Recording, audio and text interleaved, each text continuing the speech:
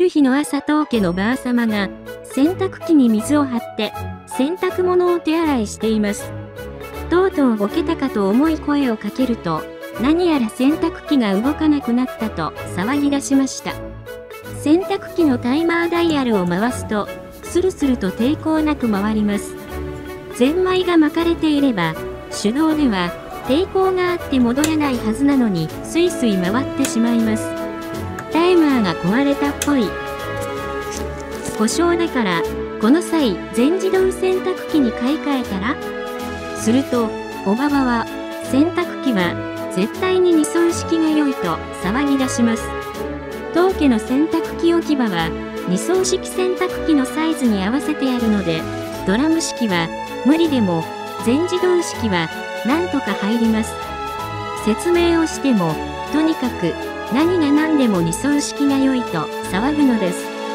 認知症の初期症状でしょうか？今時、二層式洗濯機は、日立とアクア、ハイアールが細々と販売しているのみです。しかも、同じ容積の全自動よりもお高いのです。受注生産だったりして納期も不明。二層式洗濯機の場合、大抵タイマーユニットが壊れているだけのことが多いです。30年くらい前なら単体で取り寄せができましたが昨今はできないことが普通です。メーカー修理は1万円以上必要らしいので、いや、とりあえず分解して状態を確認します。左右の側面にあるネジ2本を外します。背面のネジを外します。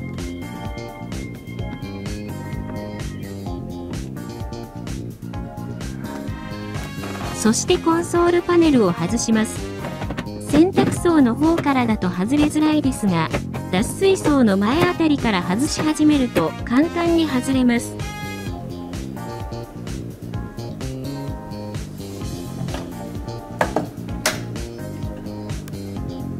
左から洗濯槽、切り替え、排水、脱水、ブザーの並びです。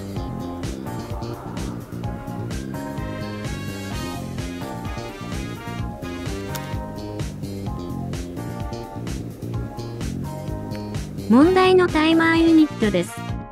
ダイヤルを引っ張ると外れますが硬いので、マイナスドライバーでこじって外しました。下はスケルトンでおしゃれですが上は黒色。RSC47A という型番が見えます。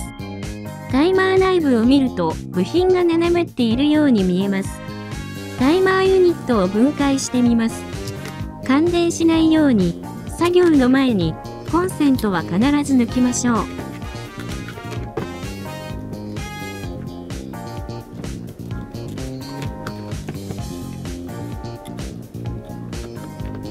健全なタイマーだと、ゼンマイが少し巻かれた状態なので、上蓋を外すとゼンマイが戻ろうとするので気をつけましょう。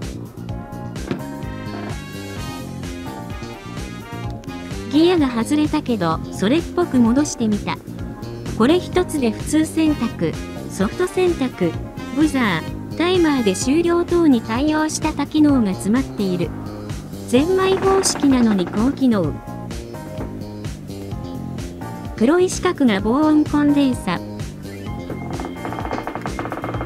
下の3枚の電極が洗濯槽パルセーターという洗濯槽の底で回るあれの主電源とブザー用。上の4枚が晴天、逆転反転するような電極。右上の人手が回っているようなのが回転して、溝の有無で逆転する。下蓋を見ると、主電源用の電極が接触する箇所が焦げて溶けている。ゼンマイの回転に応じて電極を押して電源をオン、オフと切り替える押さえ棒も焦げて溶けて電極と癒着している。溶けているのは、この振り子の軸受けで、軸ごと斜めになり動作しない。分析後下蓋の軸受けがあった箇所に 0.8mm の穴を開けて 0.8mm の長い棒を刺して溶けた軸受けの軸を垂直にして組み直してみた。指で軽く回してみると滑らかに動作している気がします。振り子がピコピコしています。右側のギアが破欠している気もしますが、見なかったことにして一度動かしてみようと思います。蓋を閉めると、それっぽく戻った気がする。ゼンマイを巻くと、カチカチ音がして回る。動いてる。動いているよ。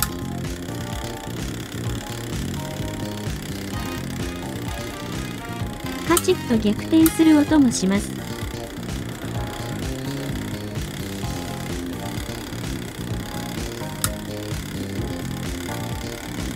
終了位置でタイマーも止まる。タイマーユニットを取り付け直して洗濯槽を回してみます。洗濯槽動いています。もう、なんだか、変。以前は、ウィーン、ノン、ウィーン、ノンっていうリズムだった気が。逆転せずに、北向きに一方向に回り続けています。晴天。逆転の切り替えタイマーではなく、ただのスイッチになっている気がします。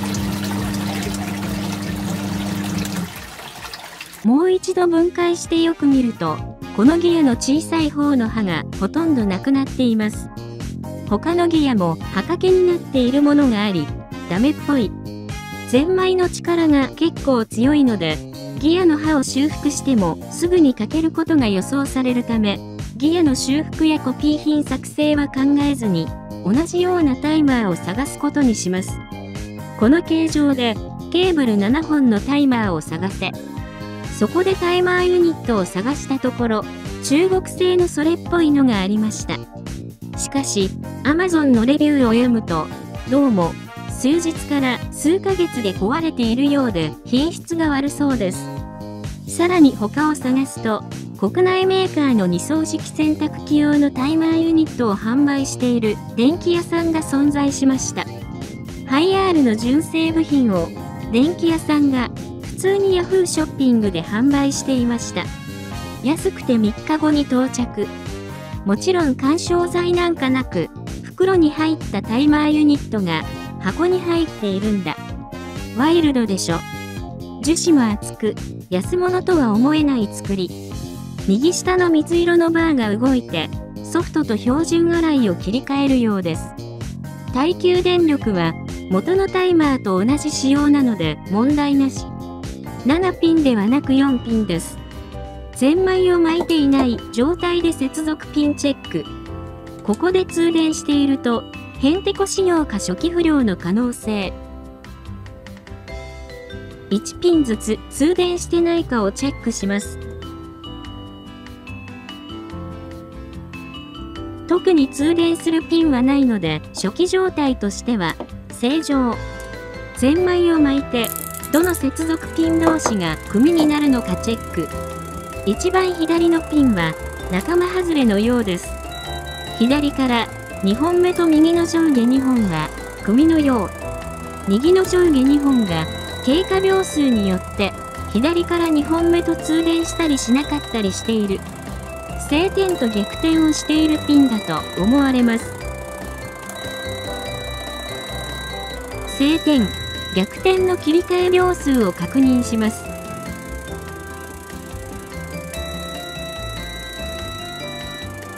3秒程度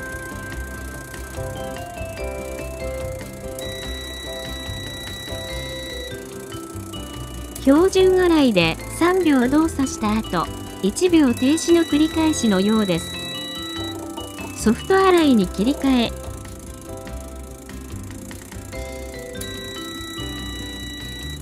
2.3秒くらいソフト洗いは2.3秒動作の後、1秒停止のようです。一番左が多分選択終了時になるブザーピンだと思うのでチェックします。ブザーピンが通電するまで少々お待ちください。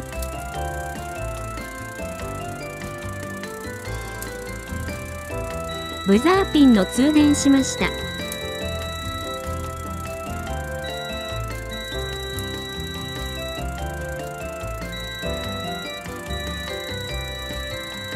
標準洗い、ソフト洗い、晴天、逆転、終了時ブザーに対応したタイマーであることが確かめられました。とりあえず分解して、品質や元のタイマーとのピン数の違いをどうするかなどを確認しようと思います。ネジを外します。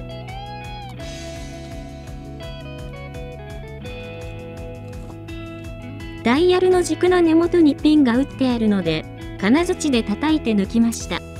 少々固め。開けるときに、このバネが外れると、かなりの勢いで鞭打ちされて怪我するので、ゆっくり開けるように気をつける。ケーブル接続ピンからの接点端子と電気の流れる経路を確認。右から2本目が電源。端子、接触で左へ。晴天、逆転用の接続ピン。終了時のブザーピン。元のタイマーで壊れていた振り子部分。大体同じような作りです。本体背面に回路図があるので参考にすると、モーターから来る黄色、橙色の電線をタイマー通して黒色に流してあげれば洗濯槽は良さそう。標準、ソフト洗いの切り替えは使わないので、空色と紫色は接続しません。使用する電線は、黄色、橙色、黒色、灰色、桃色の5本。5本だと、今回のタイマーユニットの4ピンでどうやって接続するのか灰色用ケーブルを1本増設するのです。フラックス塗って、主端子から晴天逆転端子に接続する金属部分の中間に予備ハンダ。1.25平方ミリメートル導線に予備ハンダして、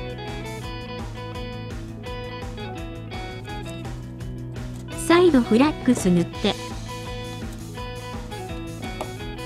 予備ハンダ地点に電線ハンダ付け、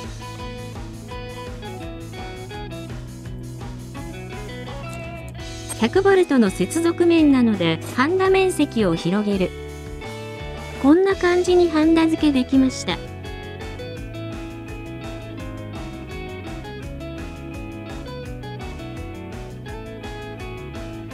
組み立て前にバネを外して、留め穴から外に回して出しておきます。ケースに入った状態だと、まだバネが強くて留め穴から引っ張り出せないので、バネの力を解放してしまいます。バネを解放したら、留め穴からスルスルと半分程度出します。バネを半分程度丸めて、元の位置に押し込みます。増設した電線を通す穴を作ります。もともとドリルで穴を開けたのですが、少々小さかったので拡張。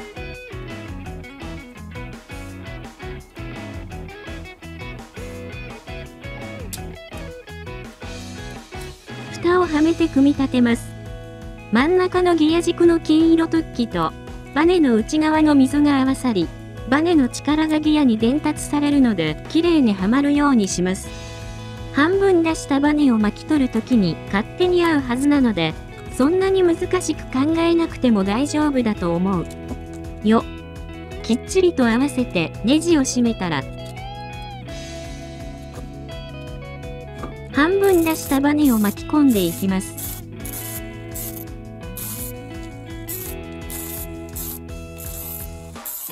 最後は、軸の根元のピン穴の位置が出っ張りに当たるあたりに来るように巻けばいいです。標準、ソフト洗いレバーはいらないですが、一応つけておきます。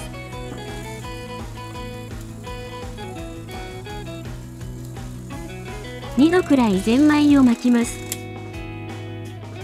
ゼンマイが適切な位置まで巻いてあれば、自動的に停止位置で止まります。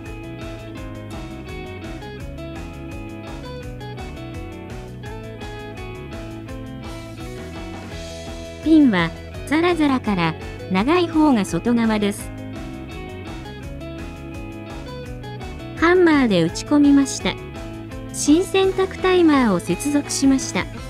最近の機種は雑棒コンデンサが黄色と橙色両方に1個ずつついているのですが、この機種は1個なのでそのままです。電線を増設した穴は電光テープでがっちりカバーしています。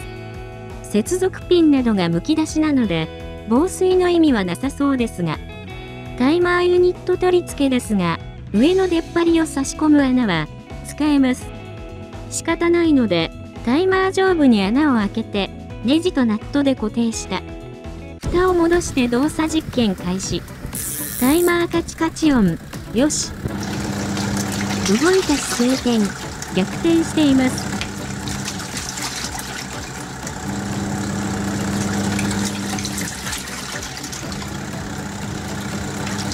タイマー終了時はどうでしょう？終了ブザー音。よし。選択停止も、よし。ゼンマイの余韻音を楽しむ。余韻音が止まれば問題なく修理完了です。ブザーメイド用の余韻時間かな。ゼンマイ停止。よし。